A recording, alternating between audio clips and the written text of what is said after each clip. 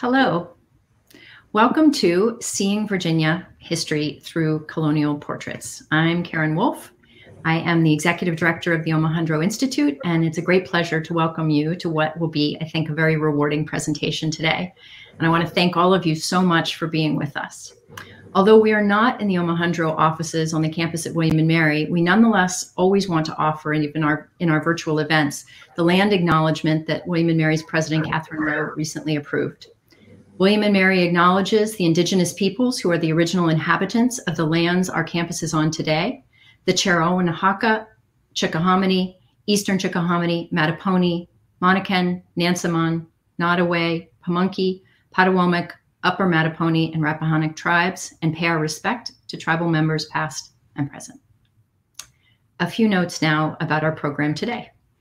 We're using a new platform, which we think is going to provide a slightly better sound and video quality than Zoom, which we typically use for webinars, but there may be a few technical delays, so I hope you'll bear with us. We've practiced with this, we're confident about it, but just want to warn you. If you have questions about the program, please post them in the YouTube chat. To do that, you'll need to have a YouTube channel, but you should have instructions for that from Martha Howard. And you should also see those to the right of the presentation. If you have any questions about the OI program schedule, please email us or visit the events page at oievents.wm.edu. An exciting feature of today's program is that you can visit the website and explore the research on which Janine Boldt's uh, work is based at colonialvirginiaportraits.org. This work is made possible through the support of the Lapidus Initiative at the OI. Now it's a pleasure to introduce our speakers, and then I'm going to step off this virtual stage. First up this, this afternoon is Janine Yorimoto Boldt. Janine has a PhD from William & Mary in the American Studies program. She is currently Andrew W. Mellon Foundation Postdoctoral Curatorial Fellow at the American Philosophical Society. She is the author and the researcher behind Colonial Virginia Portraits, published by the Omohundro Institute in 2019, the website I just told you about. And she is currently working on a book, The Politics of Portraiture in Colonial Virginia. Bill Rasmussen has a PhD from the University of Delaware. He is senior curator and Laura M. Robbins Curator of Art at the Virginia Museum of History and Culture. He is the co author of 10 books, most recently, The Story of Virginia Highlights from the Virginia Museum of History and Culture with Jamie Bosket. Karen Sherry also has her PhD from the University of Delaware. She is a curator for the Virginia Museum of History and Culture, and her most recent exhibit, Agents of Change Female Activism in Virginia from Women's Suffrage to Today, was hosted from March to November of 2020. Okay, I'm going to step off now and hand the baton or the microphone or whatever our virtual equivalent is over to Janine. All right, thanks so much, everybody, for joining us today. I just want to say that I'm so glad to be part of this event and to be able to join Bill and Karen today uh, because the Virginia Museum of History and Culture supported this dissertation research with a research fellowship several years ago and has supported the Colonial Virginia Portraits Project by generously sharing all of the images in their collection um, that are now available on the site. The Virginia Museum is also the largest repository for colonial Virginia portraits, and so I'm really glad that we're able to partner tonight and to share some highlights from the collection. And I also want to take a brief moment to thank all of the other museums, institutions, archives, and private owners who have generously shared images from their collections on colonial Virginia portraits. Now I'm going to pull up my slides.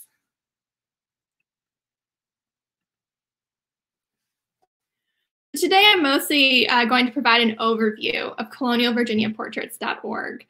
Um, the database began as a personal reference database while I was researching and writing my dissertation on the topic. I wanted to write a dissertation about how colonists used portraits and how distinctive regional practices emerged over time to better understand the transformation of Virginia society. I strongly suspected that portraiture functioned differently in Virginia than in other regions. For one thing, the plantation setting for the majority of these portraits and their creation was vastly different than the urban townhouses of Boston and Philadelphia, areas that have received more attention from art historians. Virginia was also a slave society, and while slavery certainly existed in other colonies, and far more research needs to be done about slavery and its relationship to art and material culture in urban areas, the fact remains that plantation slavery revolving around tobacco production was pretty unique in Virginia.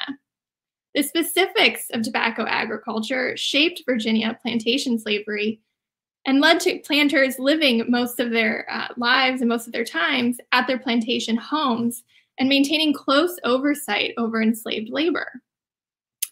This means that apart from living on site, these wealthy Virginia planters also had large numbers of enslaved domestic laborers who were within their homes. Enslaved people were therefore incidental audiences for all of these colonial portraits in Virginia plantation homes. And the specific race relations that developed in Virginia affected how people wanted to be represented in their portraits. I was also very interested in portraits created before about 1740, which is roughly the date that historians assign to the beginning of the consumer revolution in the British colonies. This is when the consumption and importation of English goods rose dramatically. Historians often consider portraits primarily as a type of commodity showing off a subject's wealth, status, and Englishness. And many of the major publications about colonial portraiture begin studies in the 1740s. But there's a longer tradition of portraiture in Virginia. And what you see on screen now are just three early Virginia portraits. And in these three portraits alone, we see three very different visions of what it meant to be a colonial Virginian. On the left, we have Daniel Parke, a Virginia planter who served in the War of Spanish Succession and eventually became a royal governor of the Leeward Islands. His portrait, painted in England, and I believe Bill is going to talk slightly more about this portrait, celebrates his role within the larger British Empire. His daughter Lucy, next to him, also a personal favorite portrait of mine, happened to be painted in England on her only documented trip there. Her portrait includes an enslaved attendant, one of only three enslaved attendants included in colonial Virginia portraiture. It also includes a basket, likely made by an indigenous woman from the Southeast, and a silver embroidered red fabric from the global textile trade. She's turned the basket into her sewing basket, and a very fine piece of white linen peeks out of it. The portrait thus speaks to Virginians' participation in both regional and global imperial trade. Her husband, William Byrd II, was a Virginia Indian trader, a slave trader, a tobacco planter, and a colonial official.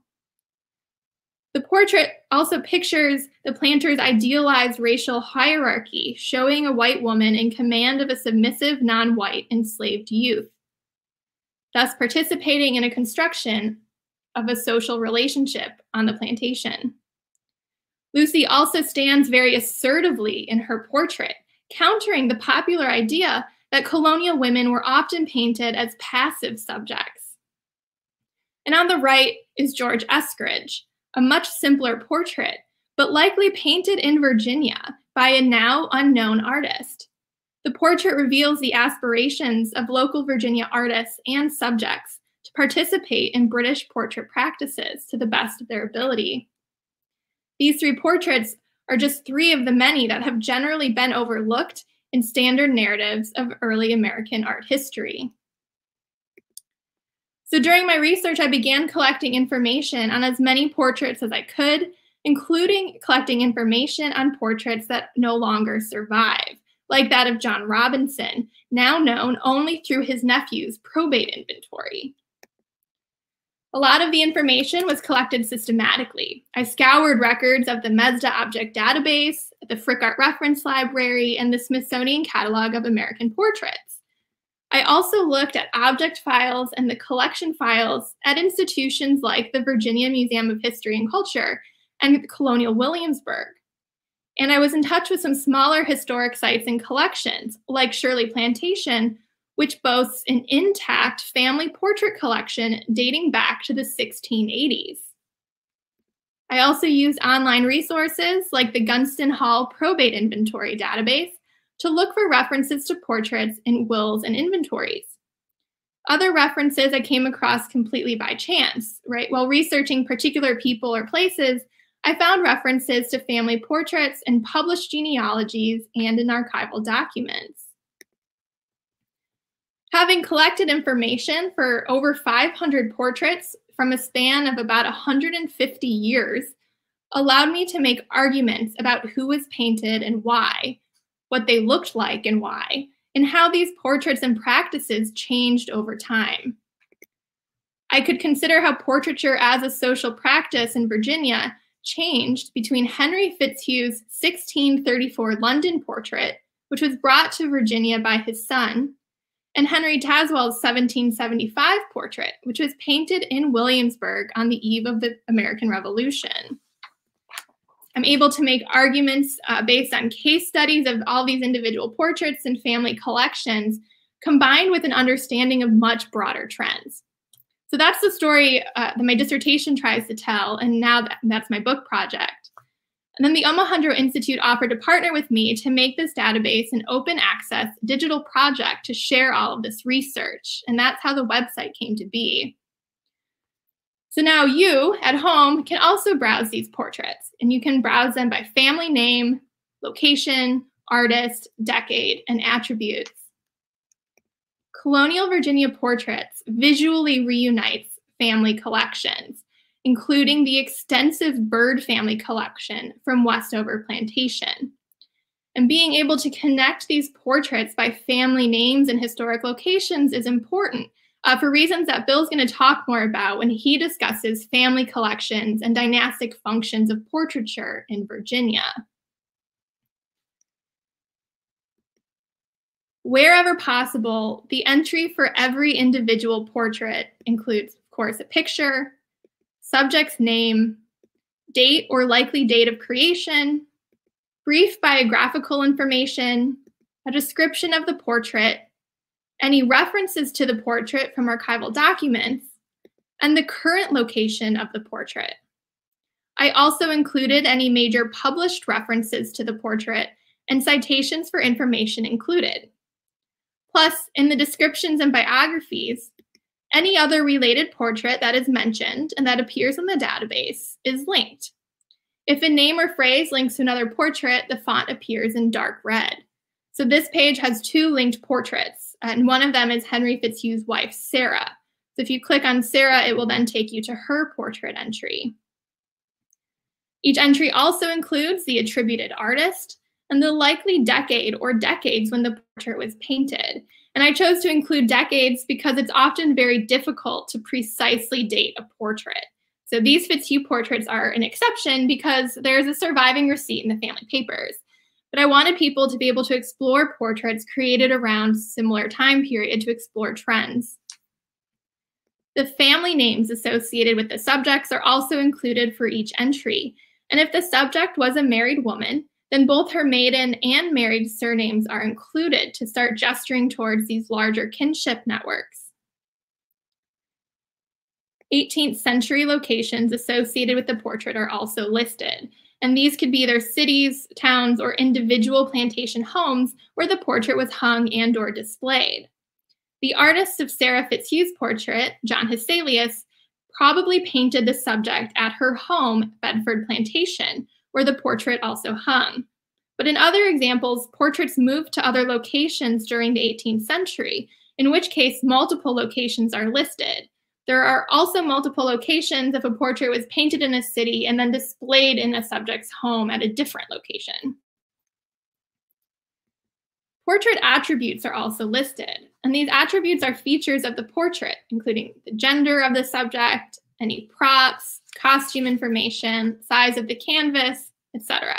So each of these are tags that allow you to click on them and see every other portrait in the database with that tagged information. The Browse by Attribute feature can be useful for researchers. If you're interested in understanding, for instance, how women were represented, uh, you can browse through all of the known portraits of colonial Virginia women. And I believe Karen's going to talk more about how to read and interpret a few individual portraits as evidence. But being able to see all of these related images can be a useful first step for interpreting trends and representations. There's not another visual archive quite like this one for colonial portraiture. Colonial Virginia Portraits allows for interactivity and helps the users connect portraits and sitters and brings together works by different artists and from different locations and collections. Further, because it is digital, I can continue to update the database as new evidence comes to light. The digital format also makes visual comparisons and relationships much easier to spot, as well as to see changes over time. And so with that brief overview of the database, I will turn things over to uh, Bill, who's going to talk a little bit more about how the Virginia Museum acquired so many portraits.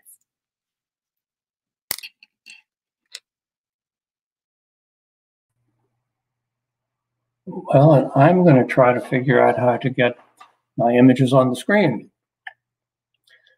So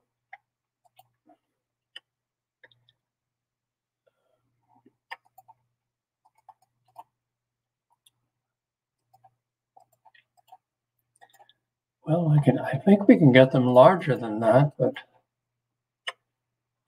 well, I'll just I'll just go with it the way it is then. Um, I, I, want to give you an, a brief overview of the collection by focusing on um, its its its strength, and its strength is it lies in the groups of portraits that we have.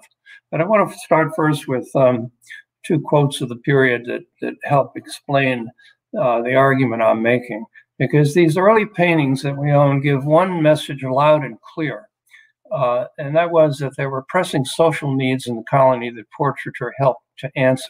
The society then was competitive, it was unstable economically, and uh, the, the newly forming gentry members did not feel comfortable with their status, and portraits could help by celebrating that status, defining it, preserving it. And this man, William Fitzhugh, of Northern Virginia, an image of him done in 1697. This is a later copy of it. When he is 46 years old, he's in Northern Virginia where there's nothing there.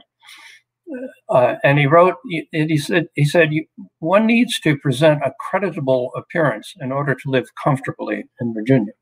And he certainly presented a creditable appearance here. He looks like he's walked in, in off the streets of, of London. Um, and and now I'm going to go to the to the next slide, but I'm not um, sure I'm going to do that.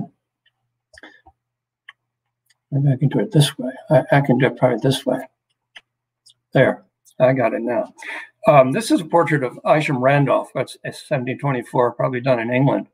Um, and there's a wonderful story that's a a well-known story involving him. He had a great garden in his plantation just up the James River west of Richmond.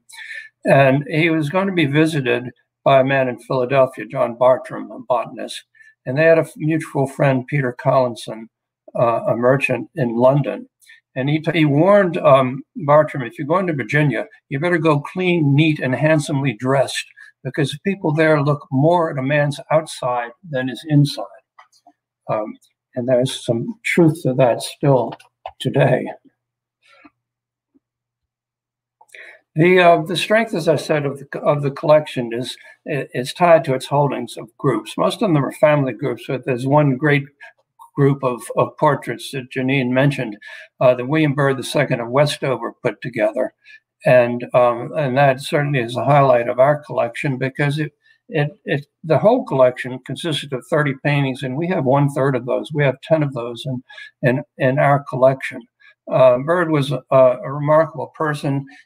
He had a library of 4,000 books, um, and he, he built the, the, the, one of the greatest pieces of architecture in colonial America, the Westover Plantation that Janine showed you.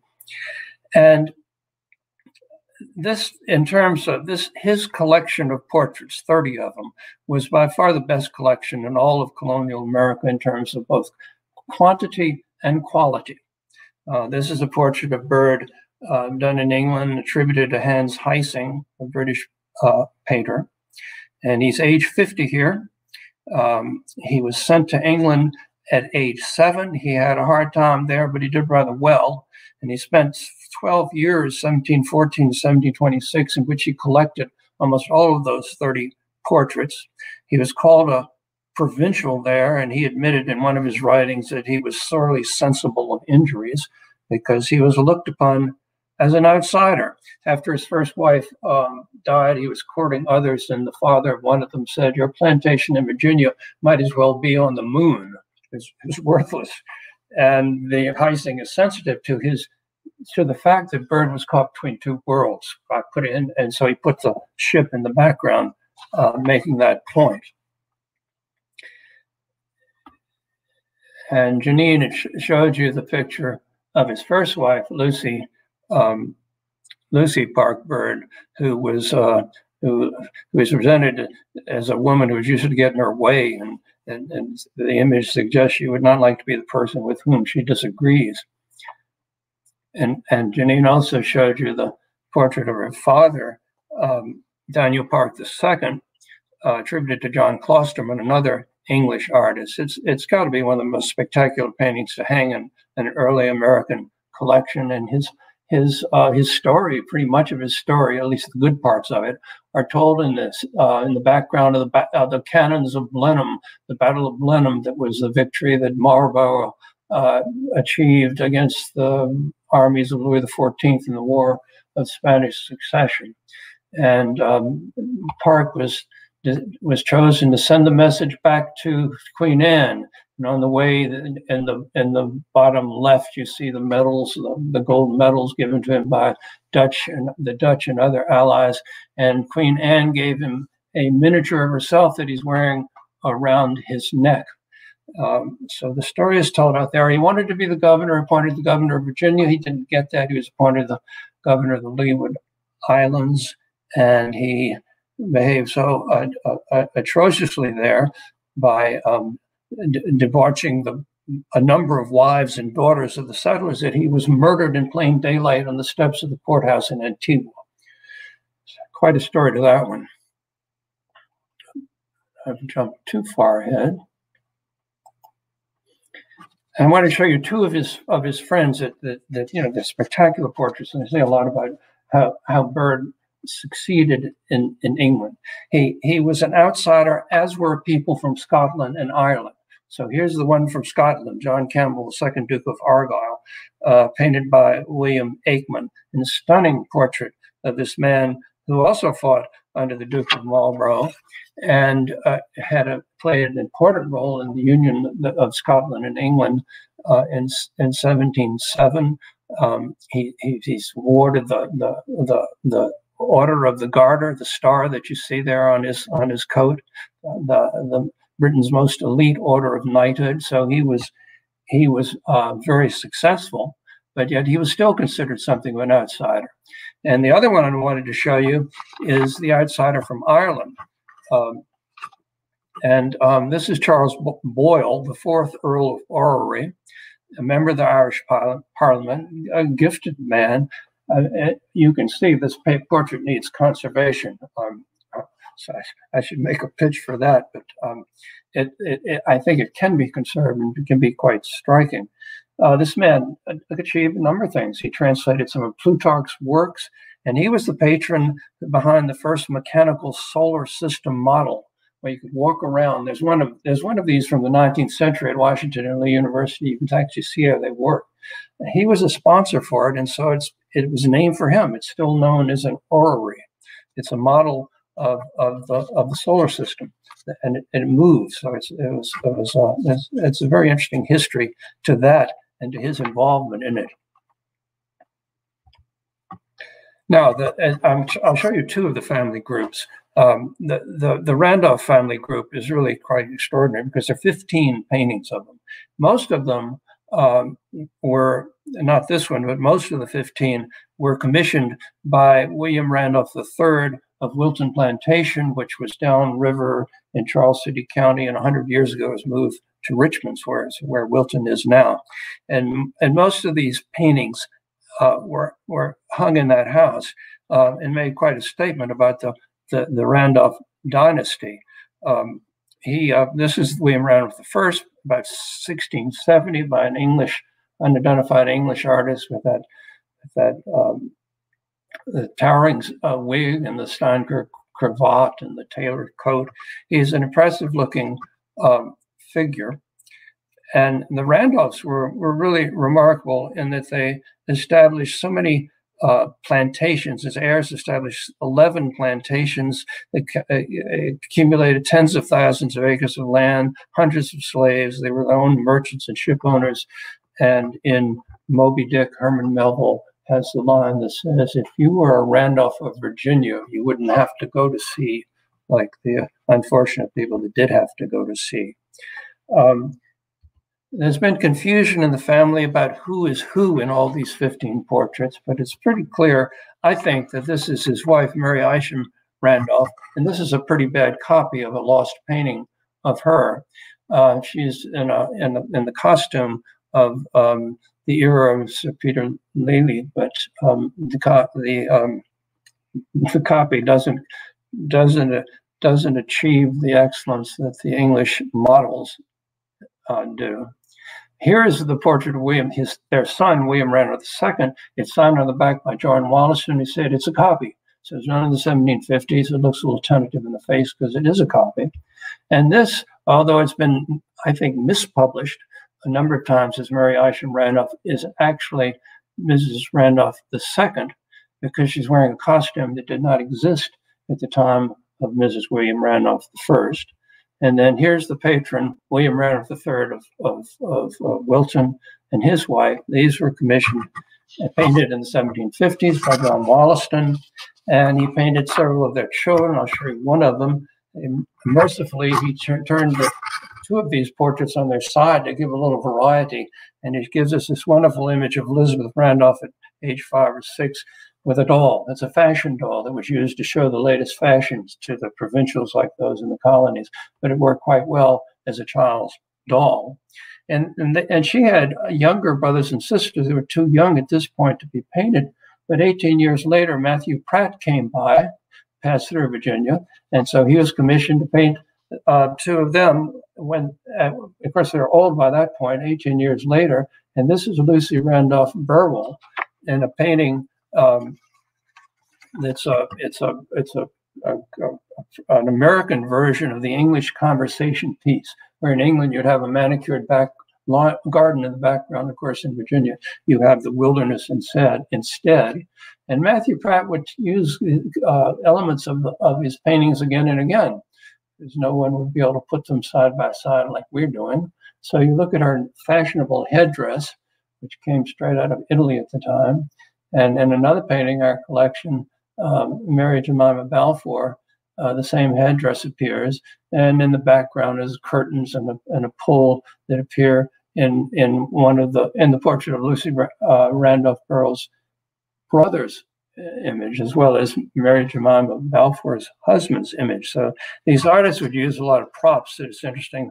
We can see this today with uh, with the means we have. So I'm back to William Fitzhugh, where I started with at the beginning. Here he is at age 46, and, and, a painting and an image that was painted first in 1697. And John Hesselius made this copy and wrote on the back of it to tell us how old he was and that he was making a copy of this lost original. And this is the one, the creditable appearance that I, I pointed pointed to before. He acquired also to show his creditability, he acquired 55,000 acres and he had a, an extraordinary collection of English silver that no one else in America could match 122 pieces of it, which he said this collection was both politic and reputable, uh, which he meant that he could melt it down if he needed to. And then he left us his, his journal, which is in the, our collection of manuscripts, our collection of 9 million manuscripts. This is a particularly valuable letter book in which he writes, and he says, He lived comfortably and handsomely and entertained, entertained visitors with good wine, three fiddlers, a jester, a tightrope dancer, and an acrobat who tumbled around.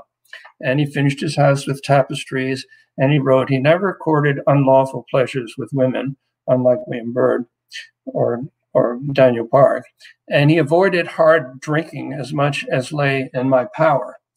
Um, and so he starts the dynasty, and our collection has shows five generations of it. And and the, all of these paintings were done um, by John Hesselius, who we could describe as a court painter to the Fitzhugh dynasty. Um, so the first portrait is this man's father, which you see here, who is Henry Fitzhugh. Um, he died in 1664. He lived in he was a, he lived in, in Bedford, England. He was a wool merchant, and his image was brought to America by his son. And then this uh, William Fitzhugh's son, an old man at this point, was Henry Fitzhugh. I'll come back for a minute. Um, they tended to name everyone Henry, so he's referred to as Captain Henry Fitzhugh done in about 1751 by John Hesselius. It's interesting that we have in our collection another portrait of this man that's almost identical to it.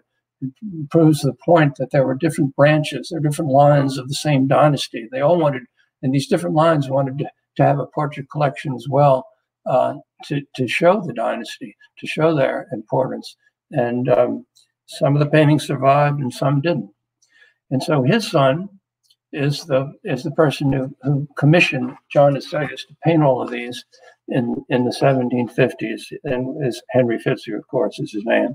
We, he's referred to as Colonel Henry Fitzhugh, and uh, Janine showed you this portrait and his wife, Sarah Battaile Fitzhugh, and then two decades later, their children grow up, and their son is Henry Fitzhugh, of course, Henry again, referred to as Henry Fitzhugh of Fitzhughburg. And obviously, he's grown up, and Hesselius has grown up as a painter. He's learned a lot uh, of how to paint from the work of John Wollaston.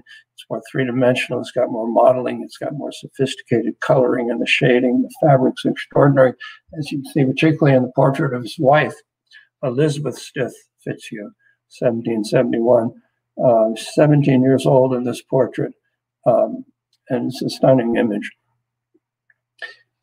I wanted to mention the fact that we have several groups of, chil- of uh, children's portraits, or several extraordinary children's portraits. This is the Grymes children, um, and this this one, uh, these are the children of um, Philip and Mary Grymes of Brandon in Middlesex County, done about 1750. They range in age from seven to two, um, and they are being modeled to uh, to to become members of the gentry. They dress like it, they act like it, and um, it's fascinating to compare these this image. They're portraits of English of children in England who look just like this. And I even found one once that had a, a wagon that was identical to the wagon that you see here.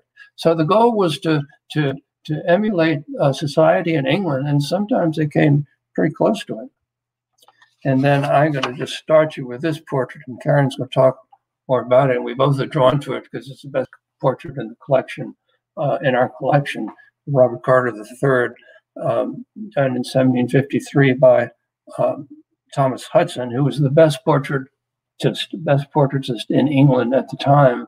This is before uh, Reynolds and Gainsborough come on the stage.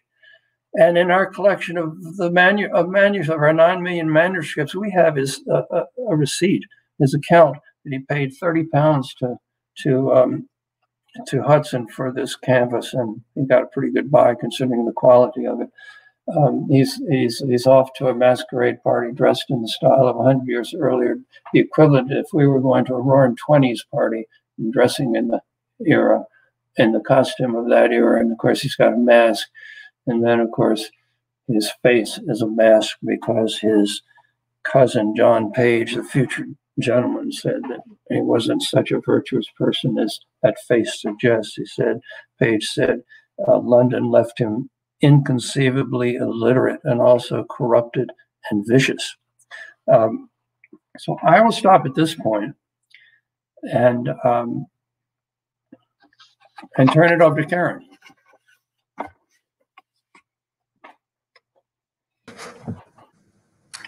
All right. Well, thank you. Um, following Janine, who um, introduced us to this wonderful database, uh, this resource, and um, showcased how it can demonstrate certain art historical uh, developments, um, changes, as well as points of continuity. And, and Bill um, showed us a bit of about highlights of the Virginia Museum of History's collection and the dynastic aspirations that these family groups of portraits demonstrate, I'm going to talk a bit about the function and meaning of portraiture in colonial Virginia in my section of today's presentation. Um, I'm going to talk a little bit about what, what do portraits tell us about the people pictured.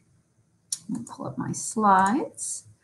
Um, now, um, in, in a very general way, of course, uh, portrait functions to record a general likeness of the person, uh, as well as to convey information about the sitter's identity.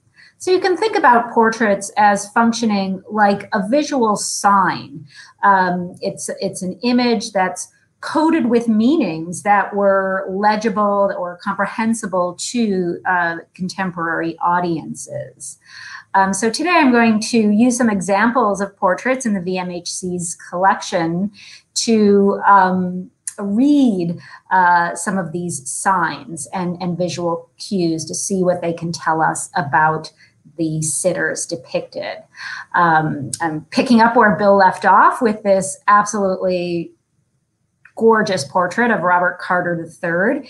It was painted during his, his wayward youth in London, which is, um, Bill showed us uh, by reading some quotes of um, Robert Carter's contemporaries left him somewhat vicious um, because he basically abandoned his legal studies to become a party boy in London. Um, he, he, changed later in life, he matured, um, but uh, during his youth, he was a bit of a dandy and enjoyed um, uh, various vices offered by London society. So when we encounter a portrait of a colonial sitter, it tells us first and foremost that this sitter came from wealth. Um, it was really just wealthy elite people who could afford to commission portraits. Um, so, uh, because of the expense of having a painting made of you or a family member, that immediately tells us that this person is from a wealthy family.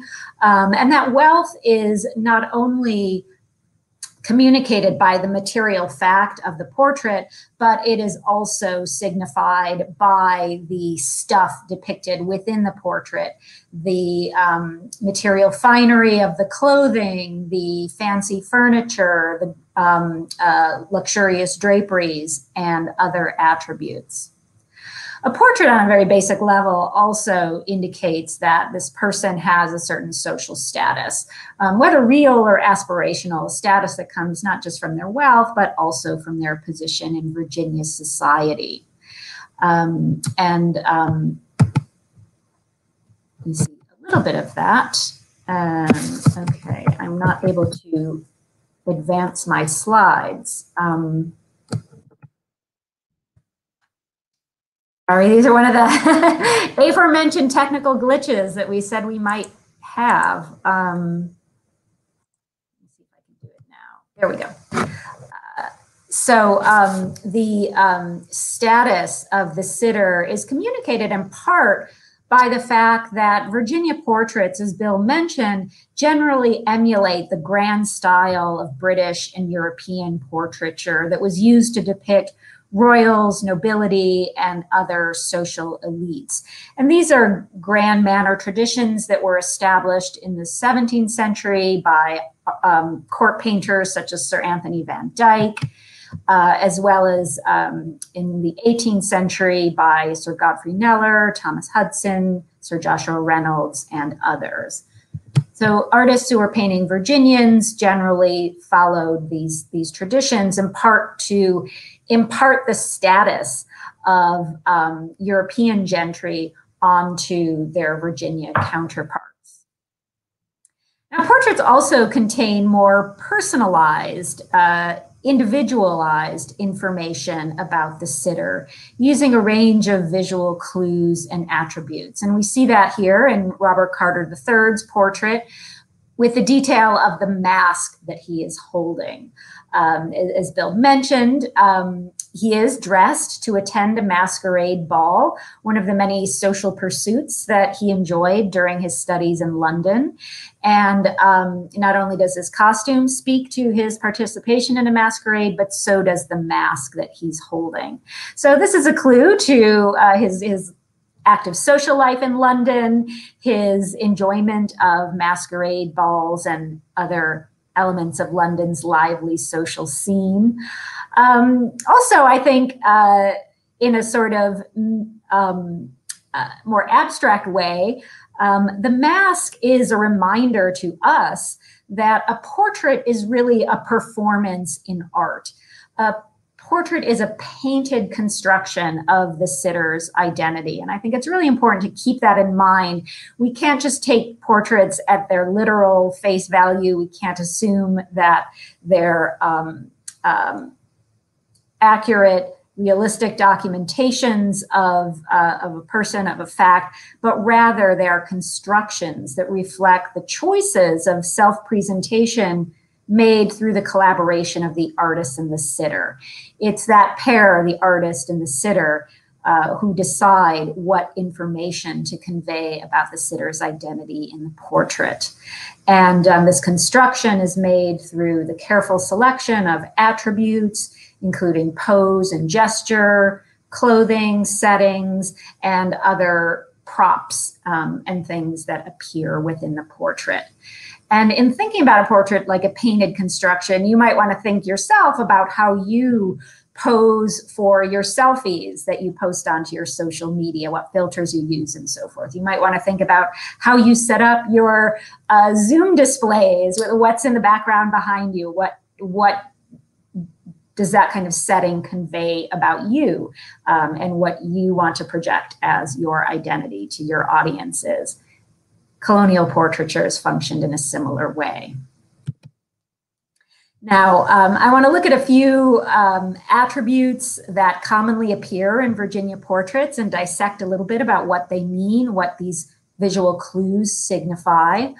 Um, and if you look at a group of male portraits uh, from across the colonial period, you will come across the hand tuck, um, the pose of a gentleman standing with his hand tucked into um, uh, his waistcoat. Um, that's such a common attribute that uh, you might be left wondering, like, why, why, why is that? Why, why is that such a common gesture, a common pose? Well, it is such because it was prescribed in British and European portraiture traditions as being the proper pose for a well-mannered, genteel gentleman to adopt.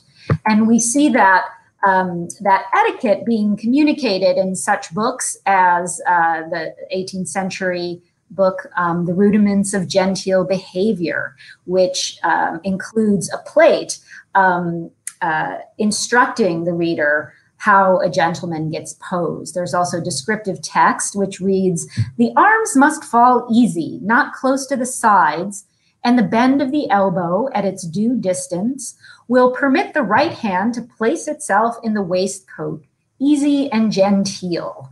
Um, so these were the kinds of um, manners that Virginia portrait sitters adopted to communicate their own gentility, their familiarity with these codes of high society proper behavior.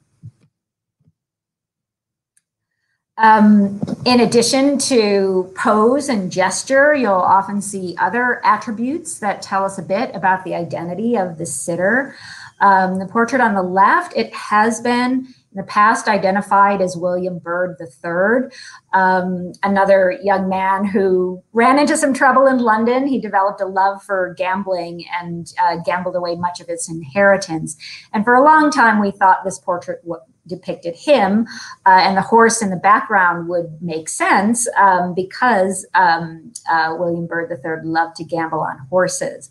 But we're not sure if this still indeed represents William Byrd. Uh, the portrait on the right um, uh, by Robert Fulton, um, uh, the inventor of the steamship and other things, he was also an artist. Um, this is a portrait of William Prentis, which is more securely identified. And if you look at some of the details, you'll see that Prentis is holding a newspaper. Um, we can read the details. Uh, the title, this is the Virginia Gazette and Petersburg Intelligencer. And this combined with the bookshelf in the background tells us that this is a um, is a man who is well read and is involved um, in news. And indeed, um, if you look at William Prentis's biography, you'll learn that he. Um, in addition to being Petersburg's mayor, he was a printer, editor, and publisher. So it makes sense that he's holding a newspaper as a document of his trade. We um, also see pendant portraits of, of families, um, a paired portrait of a husband and wife, um, in this case of the Balfour family. Um, uh, it also includes their young son, George. James Balfour, he was a merchant and justice of the peace. He um, sits at a desk that is covered with um, uh, his business paperwork, books, other papers. He's also holding a letter as a sign of his business as a merchant. Um, and this is really a charming portrait. It appears as if he's just interrupted um, from his uh, daily business by his young son, who comes into the room um, uh, playing a drum. So there's this wonderful contrast between the uh, serious um, pursuits of the father and the playfulness of the child. Um, Mary's portrait um, similarly conveys some information about her uh, identity, first and foremost, that um, she's uh, very wealthy and fashionable. Um, she wears this elaborate costume. She's just draped in voluminous folds of, of fine satins and other fabrics. Um, Bill showed this portrait earlier and, and talked about uh, how she wears the, the latest headdress, um, this ribbon and a string of pearls that's woven into her elaborate um, bun. Um, what's really fascinating about this portrait, uh, and particularly her dress, is this was a studio costume. Basically, the artist had this dress as part of the props he would provide to his sitters in his studio. So women could choose to be clad in the latest fashions out of London or Paris um, uh, for their portraits sitting with the artist. You'll notice that Mary also holds an open book in her lap. Um, that's a sign that uh, she was um, a well educated lady, that she was literate. Other female portraits um, often contain attributes that speak to the woman's not only her wealth and her social status, but also her beauty, her charm, and her gentility. And um, we, we see that in these two examples one very grand portrait of Elizabeth Stith Fitzhugh on the left, um, which shows her in this uh, elaborate and very fussy gown with layers and layers of lace and ruffles. And she's bedecked with all kinds of jewelry and her hair around her neck. She's also holding a string of pearls in her lap um, uh, as a testament to um, the wealth of her family and also her association um, with um, feminine beauty and fashionability. Um, we see that in the portrait on the right of Susanna Stith Mead.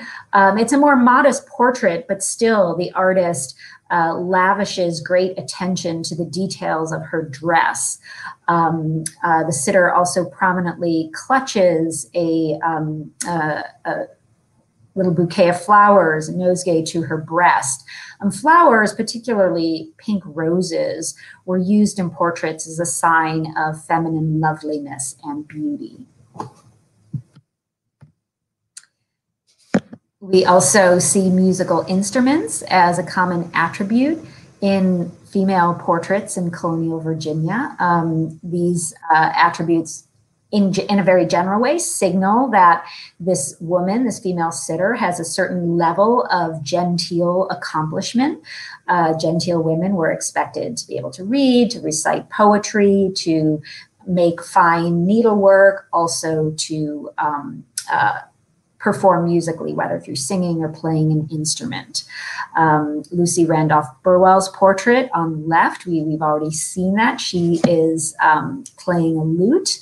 Uh, an instrument that may or may not speak to whether she actually played a lute in real life, but it one that references English portrait traditions, such as uh, this famous portrait by Sir Joshua Reynolds. The second portrait um, of Teresa Blount, she's shown sitting at a spinet and holding a um, sheet of music. Uh, now, in Teresa's case, she was indeed very musically talented and had a large library collection of musical manuscripts. Um, we can learn even more about her in the somewhat subtle allusions made in in these attributes. The sheet music, uh, you can read the writing. It's titled Clymene, sung by Mrs. Toft. That's a reference to an opera, Pyrrhus and Demetrius, that was performed in London, and the lead role was sung by Catherine Tofts, the Mrs. Tofts. That's referenced in the inscribed title on um, the sheet music in the portrait. Um, now, this is a very personal reference to Teresa because it alludes to Teresa's friendship with Alexander Pope. Um, Teresa purportedly inspired Pope's Rape of the Lock. Um, and also, uh, it refers a little perhaps to Teresa's own personal life. Like the opera character, she faced the very discouraging prospect of an arranged marriage around the time that this portrait was painted. And actually, her friend Alexander Pope wrote about that in a poem that he dedicated to her.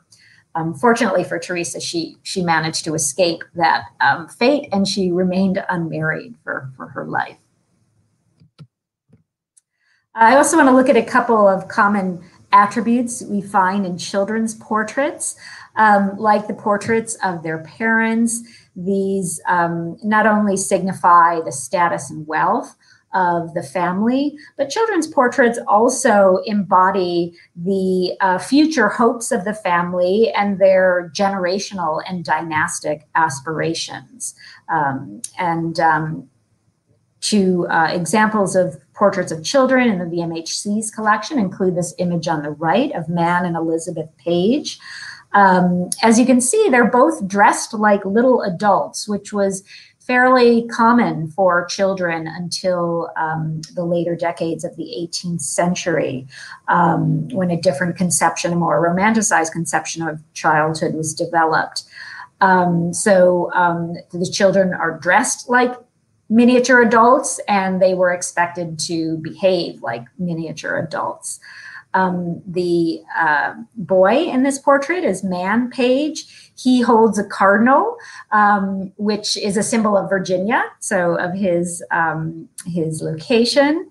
Elizabeth um, holds a fashion doll, and as um, Bill mentioned, um, in looking at the portrait of another family member, th these dolls were used to communicate stylistic trends. Um, uh, to model adult fashions, but they were also used as toys. And so the doll that Elizabeth Page holds here, um, it was meant to train her in her future duties as a mother, as someone who would bear and raise children. One of the primary roles for women uh, throughout the colonial period and beyond. Uh, in the portrait at right, which is the last one I'll talk about, um, we see the children of Philip and Mary Grymes, group portrait of their four children from left to right, Lucy, John, Philip, and Charles. And um, this portrait really communicates a lot about um, the ages of the children through their dress. They're all wearing age appropriate dress. The older children, Lucy and Philip, are, are, dressed as adults, as little miniature adults, whereas the younger children, who are both boys, um, wear um, uh, robes, um, a gown in the case of John, who's second from left, and then a, a very loose shift um, worn by the youngest Charles at far right. Um, you'll notice that Lucy um, uh, is wearing an apron that's full of cherries. Fruit were very frequently symbols of um, female uh, fecundity and nurturing. Um, so, a kind of sign of her future role as a mother. Um, uh, whereas um, another sign, another attribute that tells us a little bit about these children is her brother, uh, who has his tricorn hat tucked under his arm. Um, that was a sign of male genteel behavior, kind of similar to the hand tuck we see. And then um, the youngest boy who's playing in a toy wagon that's being pulled by his elder brother. It suggests a certain kind of leadership role that the older brother has uh, among his siblings. So I hope that this um, brief survey of some examples of portraits in the VMHC collection has given you an um, overview of some of the myriad ways in which these Virginia portraits can um, signify uh, uh, aspects of the sitter's identity. With that, I think we're going to turn to audience questions now. Well, thank you all so much for such a great um, set of presentations about um, portraits in colonial Virginia. Um, really, just so much to think about. I think we only have a few minutes, but I want to start um, and see see where we go here. Um, but I want to start with a question for Janine. Um, both Karen and Bill talked about different kinds of uh, features, specific features of these portraits whether it's the kind of iconography of um, the material that the sitters are holding or the backgrounds or the particular artist's kind of work. There's one thing that's really quite important, which is um, that these are all colonial Virginians. Um, so, so I, I think it, uh, you know, a question for you is, um, how do we see these portraits as fundamentally about colonial Virginia? What is the colonial context here? Right. Um, well, as Karen and Bill both sort of talked about, um, these subjects were very much thinking about their status in colonial Virginia, but um, I think in a larger sense, they were also very much trying to negotiate what it meant to be a colonial Virginian and also to be an imperial subject. And to be an agent for the British Empire. And so there is some sense of their anxiety and wanting to show off their gentility. But I think there's also a lot of proud moments about the role they could play specifically in Virginia, um, like with Karen showing, you know, the Virginia Cardinal slash Virginia Nightingale, as it was often called. They're making very specific comments about how they can um, participate in empire and have sort of a certain um, a certain leg up as it is, um, you know, as the phrase may be, um, as subjects in Virginia and being particularly well situated to govern the colonial wilderness. And they were often in conflict with these imperial officials who were trying to assert themselves in the colonies. And so these these portraits are also about how they themselves are Americans are Creole subjects and therefore have the power um, and should have authority and sovereignty over their own local um, sort of um, decisions they were making. And you see this throughout the entire colonial period, starting with like Lucy Parke Byrd and insisting on having these very um, indigenous objects in these portraits as a way to assert their Virginianness, but also to fight back against claims about their inferiority or lack of ability to govern themselves.